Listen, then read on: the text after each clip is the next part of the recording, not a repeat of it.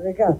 Obrigado. É, uma, é só um esclarecimento, já sei que o projeto foi retirado de pauta pedido do autor, mas que o Valdec, até para dar celeridade, é, eu escutei a pergunta do Fábio Silva, mas não, não pude captar a resposta do Valdec. O projeto exclusivamente as escolas estaduais, Valdec. Exatamente, o projeto não alcança a rede particular.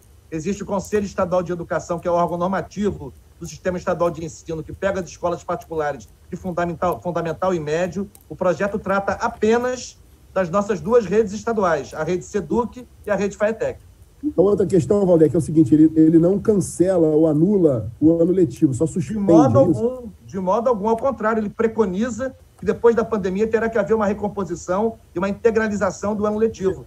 Porque, de fato, presidente, concordo com, com o Valdec que no âmbito das escolas particulares, as escolas têm o seu próprio conselho e a sua autonomia, obviamente respeitando a legislação.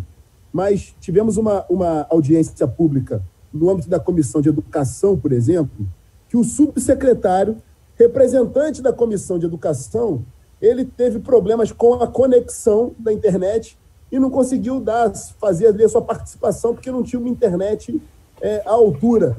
Então, imagina, se um subsecretário de Estado não consegue conexão o forte o suficiente para participar de uma discussão no âmbito de uma audiência pública, que dirá um aluno, muitas vezes da periferia, um aluno pobre, com pouco é, é, recurso, como é que ele pode acessar a internet?